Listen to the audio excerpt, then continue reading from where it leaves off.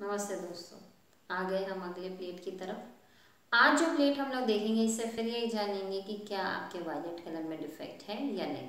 इस पेज को इग्नोर ना करें, क्योंकि 55 प्लेट की सीरीज़ है तो आइए इसको भी देख ही लेते हैं। चलिए देखते हैं। दोस्तों, अभी आपको एक प्लेट दिखाई दे रहा है। इसमें पर्पल से ही एक बैकग्राउंड को बनाया गया वायलेट से। और इस पर एक ही अल्फ़ाबेट लिखी गई है वायलेट से। तो आइए देखते हैं पहले इस पर क्या लिखा हुआ है। उसको आइडेंटिफाई करने की कोशिश करते हैं।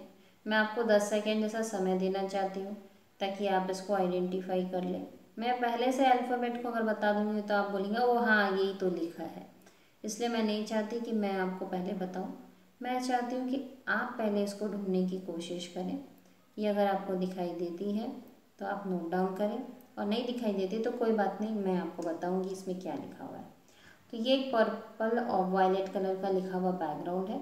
इस पर जो अल्फ़ाबेट लिखी है वो है के आप में से काफ़ी लोगों को ये अल्फ़ाबेट दिखाई देगी और जिनको नहीं दिखाई दे रही है तो समझना पड़ेगा कि उनके वायलेट कलर में डिफेक्ट है।